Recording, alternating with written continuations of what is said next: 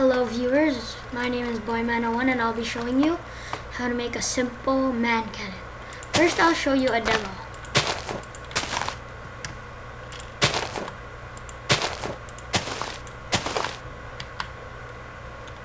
You get in there and flip the lever. And you go quite high.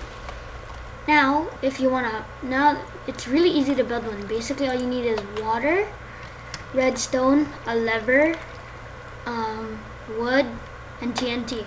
So what you wanna do is make a 5 by 5 square.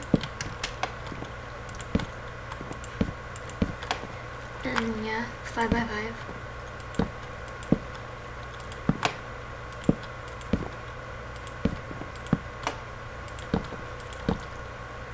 And then basically put water in the middle surround the thing with redstone except you leave one block open so that you can basically put the lever there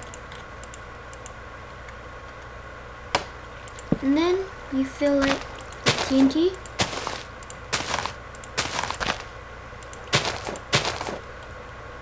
flip the lever And. That's how you make a working man cannon.